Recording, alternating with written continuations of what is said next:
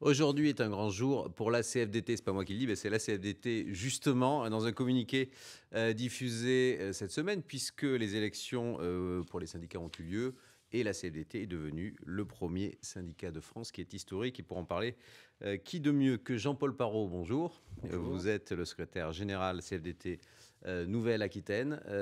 c'est un grand jour pour vous, effectivement, comme vous le dites dans ce communiqué. C'était un grand jour ce jour d'élection puisque vous êtes c'est historique, hein, je crois, la première fois, le, premier syndicat de France. C'est un grand jour pour tous les militants CFDT qui euh, se battent au quotidien pour faire valoir un petit peu les, euh, les, valeurs de la CFDT et euh, ça, fait plaisir de voir que les travailleurs, de manière générale, nous font confiance.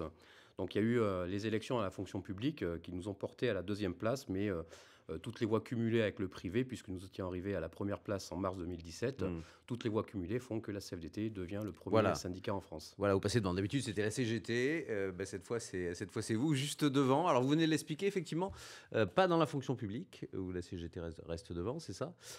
pour quelle raison? Bah, nos résultats se stabilisent. Le contexte social fait aussi que bah, c'est peut-être euh, difficile des fois de faire valoir euh, un, petit peu notre parole, mais euh, il y a eu un gros travail fait par nos équipes pour valoriser donc toutes les valeurs de la CFDT et toutes les avancées aussi sociales qu'on peut porter dans tous les secteurs. Alors vous montez dans le privé, donc? Oui. Dans quel secteur surtout en fait? Vous êtes bien représenté Vous avez vu, comment, je ne sais pas si vous avez pu dépouiller les, résultats, voir un petit peu dans quel domaine.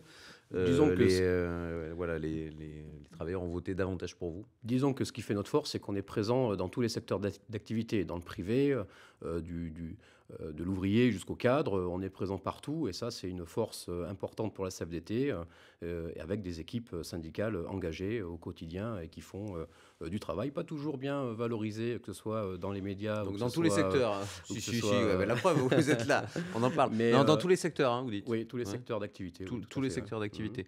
Alors quand même, bon, c'est une victoire certes, mais bon, quand on voit la participation qui quand même est très faible, hein, d'ailleurs c'est un problème en France, hein, ça a toujours été comme ça, euh, particulièrement peut-être cette année, euh, une participation très faible, euh, c'est un peu décevant ça par contre. Hein. C'est-à-dire que finalement vous, êtes, vous représentez peu de, de travailleurs, si on considère les gens qui sont allés voter, c'est assez faible. Autour de 30, quoi, 30%, c'est ça? Ça dépend. Il y a des endroits, oui, où il y, a eu de très faibles mobilisations, d'autres un peu plus, autour de 60%. Euh, la difficulté dans les élections à la fonction publique, c'est qu'il y a eu un vote dématérialisé et euh, on, pense que ce, nouveau phénomène aussi a accentué cette non-participation. Il faut savoir qu'il y a une fracture euh, du numérique et que c'est pas encore habituel de rentrer chez soi le soir et de se, brancher sur l'ordinateur et de faire un vote. voilà. Mm. par contre, dans le privé, on est quand même sur des, notions beaucoup plus importantes, surtout quand il y a du vote physique où les gens vont mm. en masse voter. Mais au-delà de cette question du numérique, malgré tout, euh, c'est vrai qu'il y, a quand même une faible Euh, comment vous l'expliquez euh, Il y a une forme de, désintérêt. D'ailleurs, il, y a peu de gens qui sont syndiqués en France. Hein. On le sait, hein, le taux de syndicalisation est très bas, c'est un des plus bas d'Europe. comment vous expliquez ce, que vous n'arrivez pas finalement à accrocher avec les, travailleurs, à montrer que vous êtes utile, si tant est que vous l'êtes? Oui, alors après, euh, il y a le taux d'adhésion qui peut paraître faible. Euh, j'attire juste votre attention. En Nouvelle-Aquitaine, on a quand même 48 000 adhérents, ce qui est quand même mhm. euh, un chiffre important. Et c'est autant, voire plus d'adhérents que certains partis politiques en France. donc, bon, on a quand même un taux d'adhésion qui est quand même important. Euh, pas suffisamment à notre sens, c'est évident, et on y travaille pour valoriser aussi, c'est notre mm. job, hein. il faut qu'on valorise euh, tout le travail qui est fait par les organisations syndicales, parce qu'au-delà de défendre les intérêts euh, dans les entreprises ou dans les établissements publics, on a aussi des, mandatés qui sont mm. dans les CAF, qui font vivre les CAF, les CPAM, la, formation professionnelle, le juridique, donc on a un, gros réseau de mandatés, et ça c'est vraiment quelque chose qu'on veut valoriser, surtout en Nouvelle-Aquitaine, ça fait partie de nos objectifs. Vous êtes présent plutôt où en Nouvelle-Aquitaine? Même question pour la France, euh, un peu dans tous les domaines, ou il y a des, des secteurs, je sais pas, dans l'industrie, ou j'en sais rien, ou du commerce, où vous êtes particulièrement présent? Non, non, on est présent vraiment partout, comme je vous l'ai dit à plusieurs reprises. Euh, alors, c'est en Nouvelle-Aquitaine, c'est à l'identique euh, qu'en France, hein. c'est-à-dire on, est dans les commerces, on est dans les fonctions publiques. Alors bien sûr qu'il y a des endroits où on est un peu moins présent que dans d'autres, hein. euh, mais voilà, on s'attache aussi à se développer un peu partout pour valoriser donc euh, les valeurs de la CFDT. Alors les valeurs de la CFDT, justement, on dit que vous êtes un syndicat réformiste. Alors dans votre communiqué, vous dites que c'est le syndicalisme de transformation sociale voilà, vous êtes un syndicat qui négocie hein, plutôt qu'un syndicat qui va faire la grève. c'est un peu votre, votre ADN. Donc vous pensez qu'effectivement les, les, les, travailleurs, les salariés ont envie désormais, préfèrent ce, ce, type de syndicalisme peut-être plus pragmatique?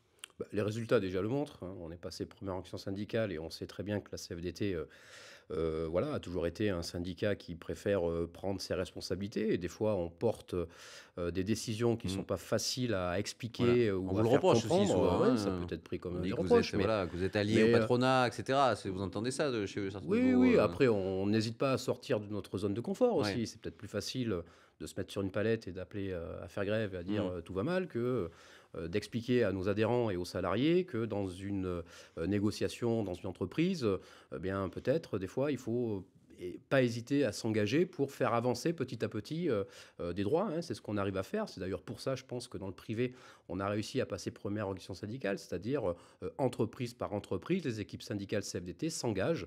Et je pense que les salariés aujourd'hui sont très attentifs à cela. Alors, il y a des, euh, des protestataires qu'on appelle les Gilets jaunes qui, eux, ont obtenu des mesures, hein, mieux que les syndicats, finalement. En quelques semaines, ce n'est pas allé sans difficulté, sans heurts, sans problème pour l'économie française, sans blessés, même des mmh. morts. Euh, qu'est-ce que vous avez pensé de. On va parler du mouvement, mais d'abord des mesures qu'a annoncé Emmanuel Macron. Est-ce que vous, puisque vous êtes voilà, dans le domaine social, est-ce que vous pensez que c'est susceptible de, de calmer la grogne sociale euh, en France? Après le mouvement Gilets jaunes, enfin, je me suis déjà exprimé à plusieurs reprises à ce sujet-là, on n'est pas là pour, pour s'opposer ou être contre. Il y a un mouvement citoyen, il y a une grogne. La CFDT a, alerté le gouvernement actuel pour lui dire, euh, vu son attitude. Et Vous l'avez alerté, euh, c'est ce que, voilà, c'est, effectivement c'est ce que dit votre représentant national. on a dit, on a dit au président, au premier ministre. vu son comportement un peu directif, on va vouloir se passer des corps intermédiaires on lui a dit que ces attitudes-là pouvaient amener aussi à mmh. une forme de révolte. Mmh. Hein. Alors les, mots sont forts, mais euh, c'est un peu ce qui s'est passé au travers euh, des citoyens qui sont mobilisés euh, pour bloquer des carrefours ou pour aller manifester à Paris ou dans des grandes villes comme à Bordeaux notamment. Mmh. Après, le, problème de ces mouvements, c'est que on a vu, il n'y a pas vraiment de tenue du mouvement et ça peut vite dériver. C'est ce qui s'est passé malheureusement même à Bordeaux et même sur d'autres villes comme à Limoges hein, ou dans des, ou dans des petites villes un peu plus reculées. Et euh, on le regrette, on le regrette parce que c'est compliqué de tenir une manifestation. On le sait, nous, syndicalistes, euh, rentrer dans un mouvement de grève, parce que la CFDT, euh, elle n'hésite pas aussi à rentrer dans un mouvement de grève dans des entreprises pour faire valoir aussi des, des, des, avancées pour, pour les salariés. Mais le problème de rentrer dans un, dans un mouvement de grève, c'est facile. La mmh. difficulté, c'est comment on en sort. Comment on arrive aussi à convaincre des salariés que le mouvement de grève doit prendre fin et qu'il est mmh. temps de se retrouver mmh. autour d'une table. Le problème des Gilets jaunes, c'est qu'au aujourd'hui, ils sont dans une situation où ils sont très populaires, il faut se le dire. Les, revendications qu'ils portent euh, touchent euh, la plupart d'entre nous et on peut tout à fait euh, légitimement comprendre que on veuille améliorer notre pouvoir d'achat, etc. Mais je veux dire, comment on arrive à, mm. comment on arrive à s'en sortir mm. Comment on arrive à se mettre autour d'une table Comment on arrive à écrire un cahier revendicatif et comment on arrive surtout à, obtenir des choses Voilà, il y a eu un, mea culpa, d'ailleurs ça a été un titre de, de, Sud-Ouest, hein, mea culpa de la part de notre président de la République, notamment sur ses attitudes. Il y a eu des avancées et on les, euh, on les note, hein, nous, à la CFDT, puis on est très content de ces avancées. D'ailleurs, je pense que euh, la, plupart des choses qu'il a pu annoncer, moi, il y, avait des choses que la CFDT Pensez que vous avez été écouté Vous avez été écouté, On a été écouté au bout du bout. Les Gilets jaunes ont été écoutés. Les autres organisations syndicales aussi ont été écoutées. Il y a une première avancée. Il faut maintenant transformer l'essai. Qu'est-ce qui vous plaît dans ces mesures? C'est quoi? C'est le, Non, mais une sur les retraites, par exemple. Moi, je pense, sur les retraites, oui, ça c'est quelque chose, par exemple, c'est quelque chose que vous, que vous portiez en disant attention, on, s'en prend aux petites retraites, aux trop petites retraites. je pense à tous mes collègues qui sont euh, retraités à la CFDT, qui se sont mobilisés pendant plusieurs mois, plusieurs semaines euh, pour attirer l'attention euh, sur la perte du pouvoir d'achat, notamment pour les plus petits, mm. Les plus petites pensions de retraite. On n'a pas été suffisamment écouté à l'époque. C'est pas qu'on a passé quand même pas mal d'énergie à alerter, etc.